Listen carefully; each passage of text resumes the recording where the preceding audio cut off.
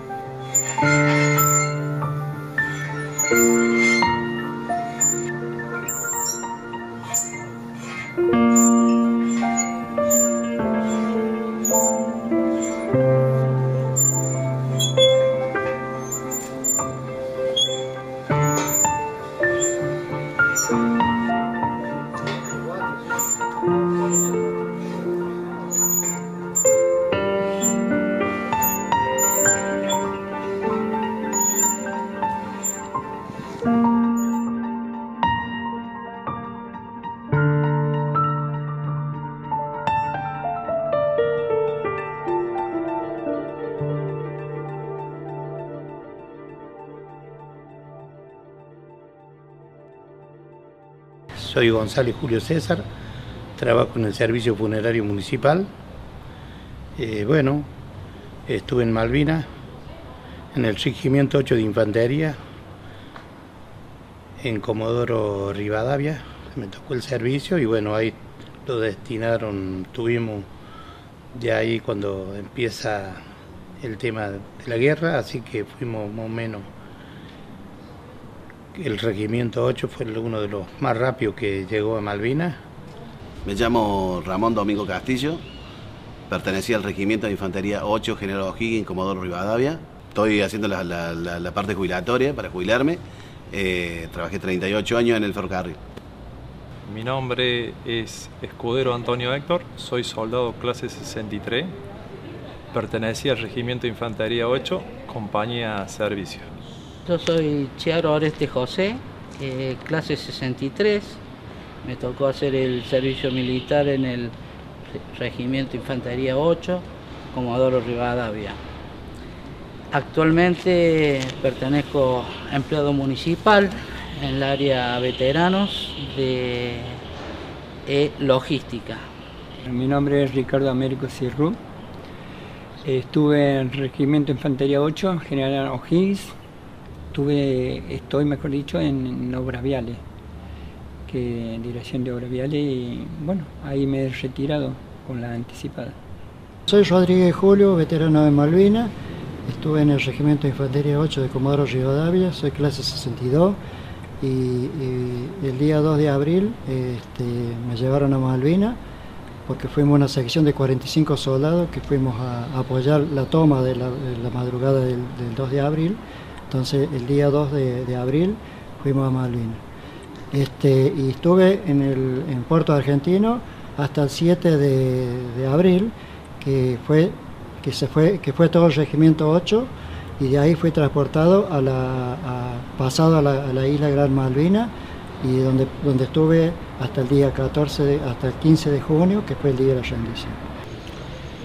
Bueno, mi nombre es Elio Dante Álvarez, este, me incorporaron al servicio militar obligatorio como soldado y me llevaron a, hacer el servicio militar a Sarmiento, Chubut, al regimiento 25 de infantería. Y, y bueno, nos tocó, nuestro jefe del regimiento era el teniente coronel Senaldín y nos tocó eh, el desembarco junto con la Infantería de Marina. Bueno, mi nombre es Oscar Teófilo Martínez.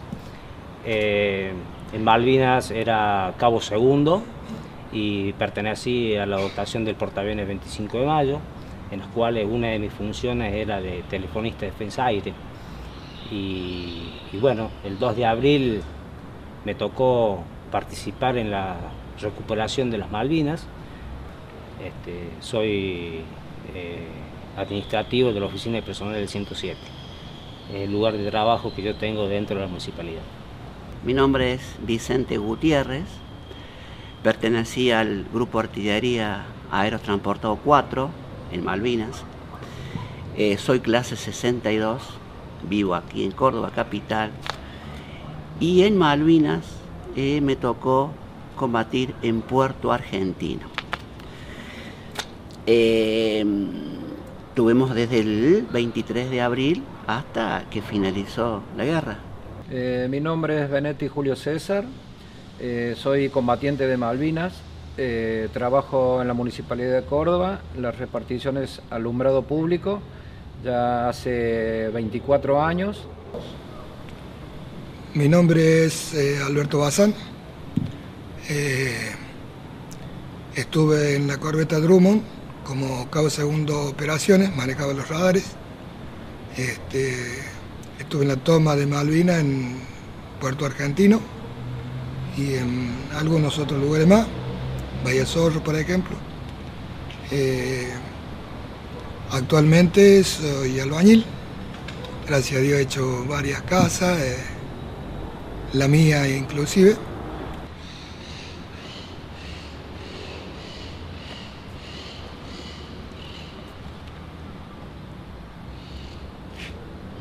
El 2 de abril me tocó participar en la recuperación de las Malvinas. El, el portaaviones estuvo presente para poder eh, brindarle apoyo a las, a las fuerzas de desembarco del 2 de abril. El regimiento 8 fue uno de los más rápidos que llegó a Malvinas a, participar. Bueno, ya ahí lo, llegamos a Puerto Argentino, de ahí fuimos pasando y la Soledad hasta que llegamos a Bahía Fo. Bueno, ahí donde fue lo más bravo del combate de Malvinas.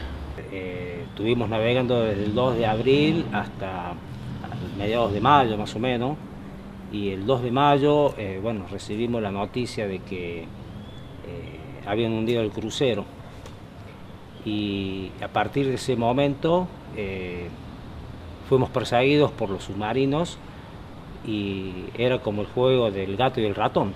En combate yo fui soldado, fui camillero, pasé por muchas cosas feas con apenas 18, 19 años, de las cuales ver caer a compañeros eh, en, mi, trabajo, que era en ese momento, que era como camillero, eh, sentir el gusto amargo de, de no, no, poder hacer nada por ellos, eh, sentirse golpeado en la vida por las cosas que han pasado, porque hasta uno mismo muchas veces se siente culpable por las cosas que, que hemos vivido en Malvinas. Si me hubieran dicho, me, me hubieran puesto la, la acción de elegir de ir, seguro que te digo que no. Pero después de, de haber vivido eso y, y bueno, y haber recuperado nuestra Malvina y, y de haberla defendido, te digo, me siento orgulloso y, y, un agradecido de, de Dios de que me haya elegido participar en a, haber eh, sido partícipe. Mi mayor recuerdo que tengo eh, en estos 40 años eh, es una, una mochila muy grande que llevamos hasta la actualidad. Esperemos cada día superarnos pasar este, este gran momento y más en esta fecha son muy, muy dolorosas para nosotros, no, no las podemos eh, sacar encima. Eh, muchos sueños, pesadillas, hasta la actualidad. Este, bueno, para mí Malvinas fue madurar de golpe, a pesar de que yo tenía un año de servicio militar, Malvina eh, fue muy fuerte para mí. Por eso yo hasta el día de hoy este, eh, en todo lado estoy en los actos donde me llaman y todo, porque para mí Malvina es todo.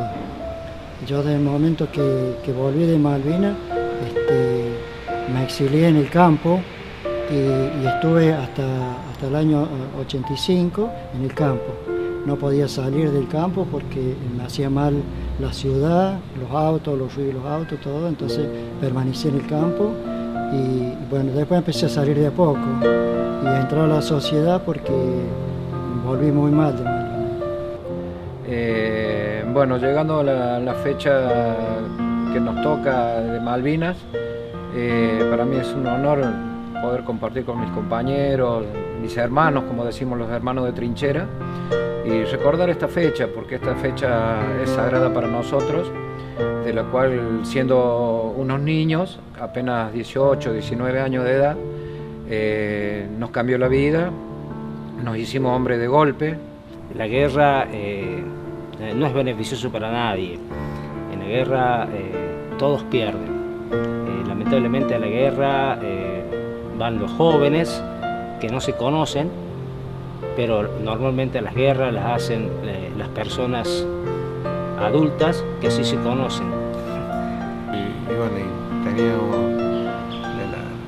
el convencimiento que íbamos a ganarla y bueno, después se hizo todo lo contrario y, nos tocó padecer la desmalvinización del país, gobiernos que se fueron sucediendo y la, el desinterés de, del la sociedad, por, bueno, por lo mismo que somos un país triunfalista, ¿no es cierto? Y,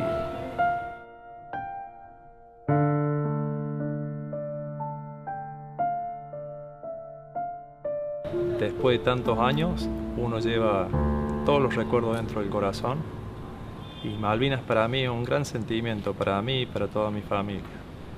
Mi más sincero recuerdo para todos los que tuvimos esa gesta. Y algún día la historia dirá lo que tenga que dirá de los veteranos de Malvinas. La gesta de los 40 años que se va a cumplir, eh, sinceramente, me llena mucho en cada gesta. Y bueno, eh, espero que, que nunca lo olvidemos de eso porque sería lo terrible para cada uno. Bueno, como siempre nosotros vemos, por ejemplo, en, en, la remera, cuando hablamos nosotros, creo que Malvina para nosotros, para todo veterano de guerra, eh, Malvina es un sentimiento. Hasta el día de hoy seguimos combatiendo con todo lo que, lo que nos está pasando, eh, vamos todo para adelante, no aflojamos, no queremos abandonar esto, estamos eh, en los colegios, dando charlas, o sea que es nuestra fuente para seguir sobreviviendo a esto. Llegamos a una edad ya de 59, 60 años nosotros, ya personas que realmente ya adulta, digamos, y ya algo muy especial me toca, que quedaron nuestros hermanos en Malvinas, que es por eso y que estamos, estamos el día al día peleándola, luchándola, dando charlas en los colegios, casualmente viajo este el fin de semana de 31 y primero para Villa de Soto porque vamos a dar charla con, en los colegios de, digamos, en el, campo, cercanos a, la ciudad de Villa de Soto. Vamos a hacer charla con todos los chicos porque queremos dejar una marca registrada que es la marca Malvina. Me casé en el año 86 y, y formé una familia. Y ahora espero que el día que yo falte, mis hijos sean el legado que yo les voy a dejar. Este, tengo tres hijos varones y que espero que ellos sigan malvinizando por sus padres. Y creo, y siempre me lo demuestran, que están orgullosos de su padre por lo que es. Y bueno, yo por suerte, dentro de, lo malo, me siento bien, en lo físico, en lo, en lo psicológico también. Y eh, Estamos, estamos. En estos días de la parte laboral eh, no es mi, fuerte, digamos, por estos tiempos. Eh, no estoy trabajando, sí, hago oportunidades de algún trabajo, lo, realizo, pero de ahí más no, no estoy trabajando, digamos, en, en la ley, por ley. Y bueno, entre los veteranos de guerra se forma una hermandad que muchas veces, como dicen los chicos, eh, estamos en la misma sintonía y por lo general eh, nos ayudamos y nos apoyamos mutuamente uno con otro. Siempre estamos, tratamos de estar en los buenos y en los malos momentos. Que mis nietos son mi cable a tierra, porque no es todos los días que estamos bien y bueno, uno se aferra lo que más quiere, ¿no es cierto? Que es la familia.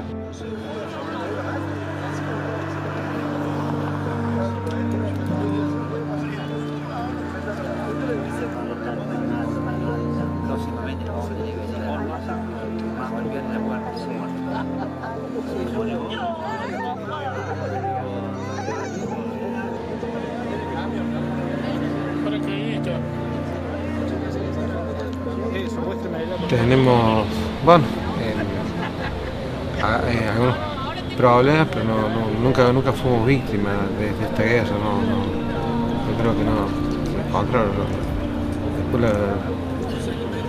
si bien hubo una indiferencia en el primer tiempo, pero no éramos víctimas, para nada de esta guerra, no, la llevamos con orgullo, con alteza, con altura.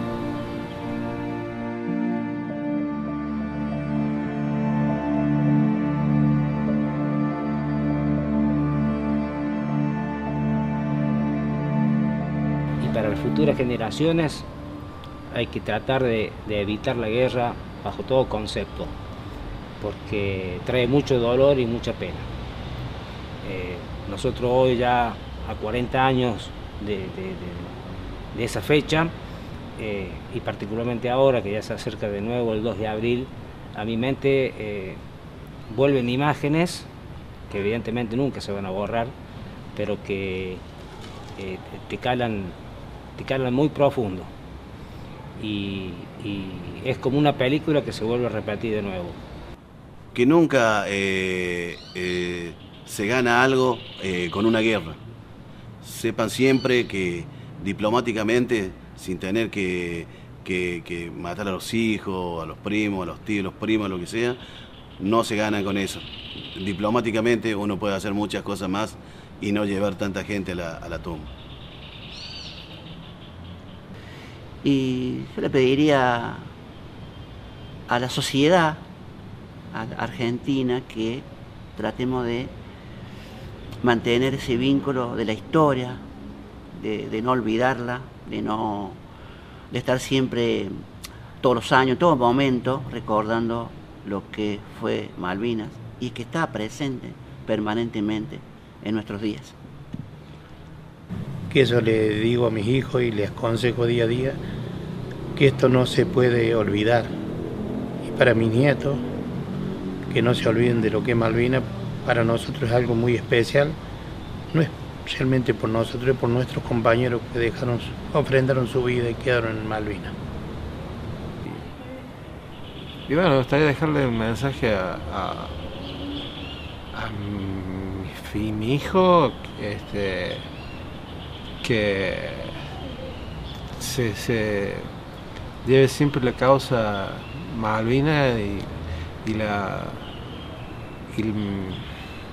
la, promueva y la, la, siga eh, eh, eh, mostrando como, por lo que, eso sería un legado. Digo para mis hijos Espero que el día de mañana ellos reconozcan todo lo que uno se hizo y, sepan valorar todo el gesto que se hizo a través de Malvinas. A mis nietos, mis hijos, mi madre, mi esposa, mis hermanas y bueno, que siempre pueden contar conmigo, que de una forma u otra estaré al lado de ellos.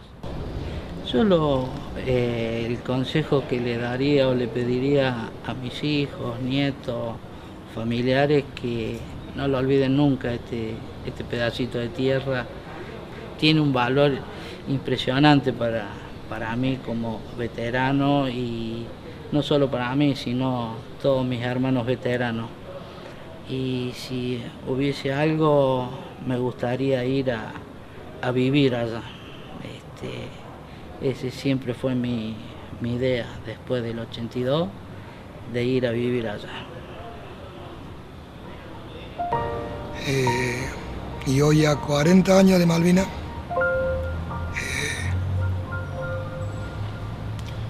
lo que yo quería decir que no, que no haya guerra, que no, que no fomente nadie una guerra, porque no ganan, no gana nadie, todos perdemos. Entonces, eh, si vas a luchar, que sea en tu trabajo, siendo mejor que el otro, para ganarte la vida bien. Si, si vas a pelear para defender tu, tu familia, que sea con la palabra. Y, siempre con Dios adelante, nada. Eh, pero por sobre todas las cosas que, que, que no haya más guerra para nada. Nada más. ¿Estamos? Excelente.